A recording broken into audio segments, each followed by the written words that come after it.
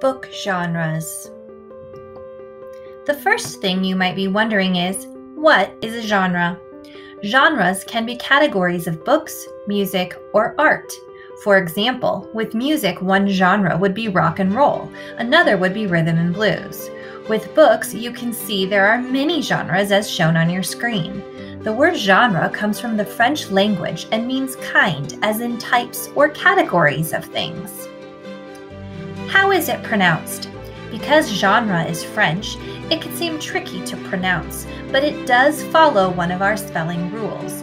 The G sounds like a J, so we use the soft G rule, knowing that when G is followed by a snake letter, an I, E, or Y, it uses the soft sound.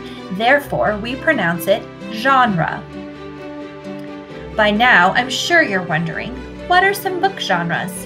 Most genres fall into two categories fiction or nonfiction. There is also the genre of poetry, but we will be mainly focusing on these two categories this year.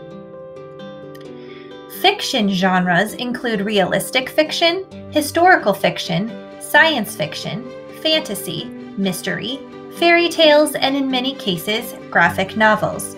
You can see by looking at the image on your screen, there are even more subgenres or smaller categories of books that fall under the categories I've just mentioned.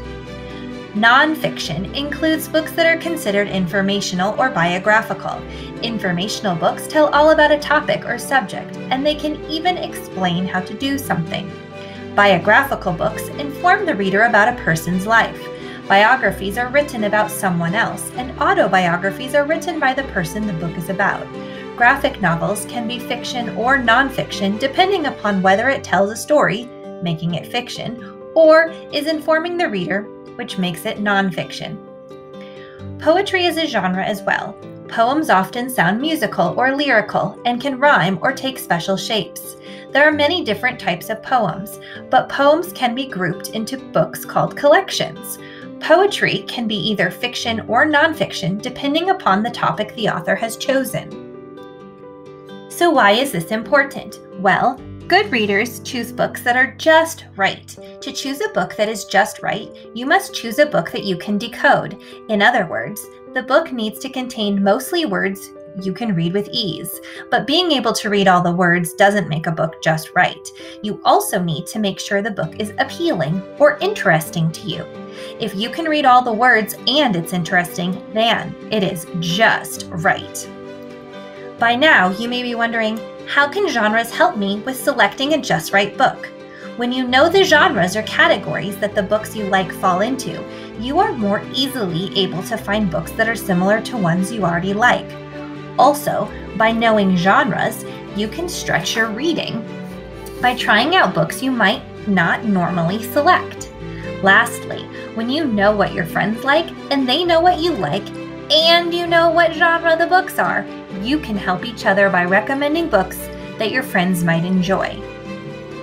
Now that you know what a genre is, let's take a closer look at the types of genres and what kinds of books you might find in our classroom library that match the genres you enjoy.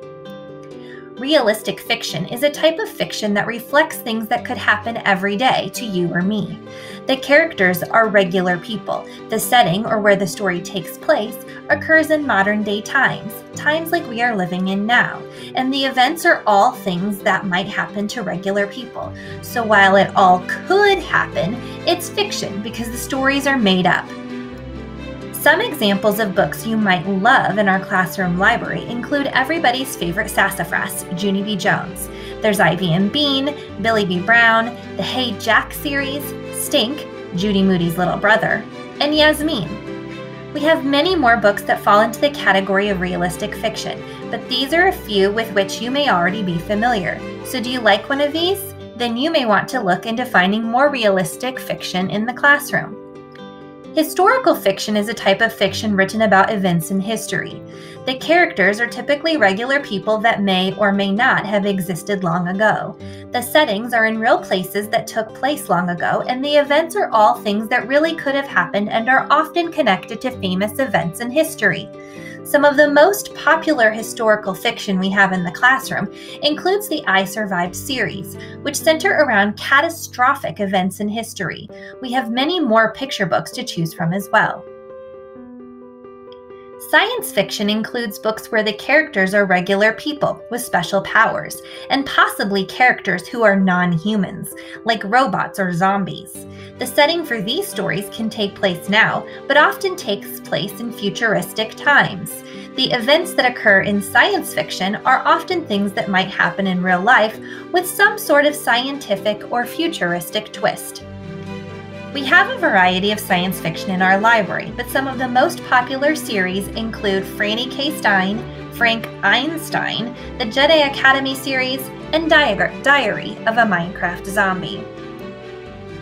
Fantasy is a very popular fiction genre. The characters in these stories are often regular people with special powers or abilities, talking animals, or even objects that come to life. Fantasy books can take place in the past, present, or future and can be in real or made up places. The events in fantasy stories are often fantastical. They range anywhere from slightly different than real life to very different from real life. A few book series you may be familiar with in the fantasy genre include the Rainbow Magic Fairy series, Princess in Black, Magic Treehouse, Inspector Flytrap, Owl Diaries, Dragon Masters, and Kung Pow Chicken. If fantasy books are your jam, we can definitely hook you up. Mysteries are another popular genre among kids and adults alike. The characters are regular people, and the stories take place in today's world or in past times. The places can be real or fictional. The events of the story follow a predictable pattern. There's a problem or mystery the characters have to solve, and the stories contain a lot of suspense that keeps you guessing until the end when the mystery is, usually, solved. Mysteries that have been popular with students in the past include Cam Jansen, Nate the Great, The Notebook of Doom, the Calendar Mysteries and A to Z Mysteries, both of which are written by the same author, and the Bad Guy series. One genre you're likely very familiar with are fairy tales and other traditional literature, which includes fables, myths, legends, tall tales, and folk tales. One reason you may be familiar with this genre is that Disney has made lots of movies based on popular fairy tales with which you may be familiar, like Snow White, Cinderella, and Tangled, the story of Rapunzel. Fairy tales are handed down through generations of storytelling, and often there are versions of fairy tales from many different cultures of the world. Fairy tales and traditional literature commonly include a moral or a lesson that can teach you something about how to behave. Many fairy tales include magic and talking animals. What are a few of your favorite fairy tales? In our library, we've worked hard to collect many versions of some of the most popular tales, including Red Riding Hood, The Three Little Pigs, and Cinderella. Here you can see other versions of these tales. We have many more fairy tales you can check out as well, including what are called fractured fairy tales, or fairy tales told from alternate points of view, for example, the three little pigs being told from the wolf's perspective, or why Cinderella is so annoying as told by her wicked stepmother. If you like fairy tales, you are sure to find one you will enjoy in our classroom library. Graphic novels are all the rage with students these days. These books use words and pictures in a comic book style to tell a story.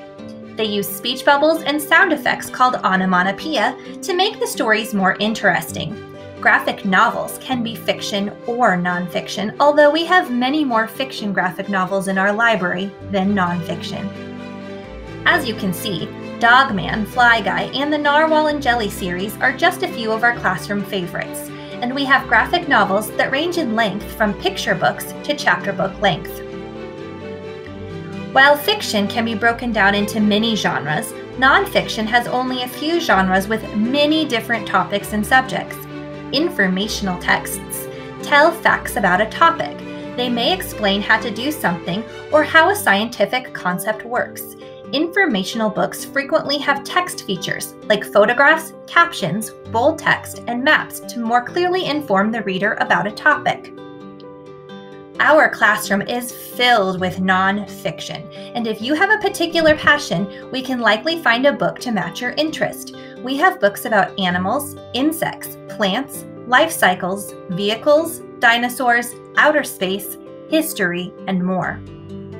Second graders especially love reading the Who Would Win series to find out which amazingly ferocious creatures would win if placed in a head to head battle. And if you love history, there's books to help you learn more and understand how the world has changed over time. Biographies are books filled with facts about a person or a group of people. They can be long or short and are all true. If a person writes a book about his or her own life, it's called an autobiography. Our classroom library contains many biographies about important people in history. Some of these individuals lived and died long ago, and some are still living and inspiring us today.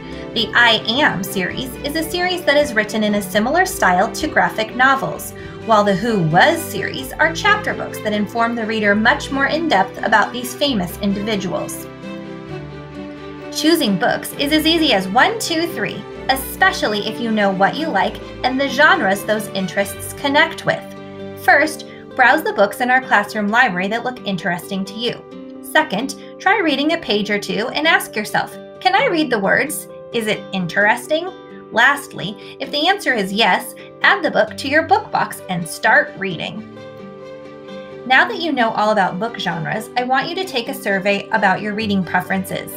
This will give me a good idea of the kind of books you are already reading and enjoying, and it will also help me to help you find books you're absolutely going to love reading.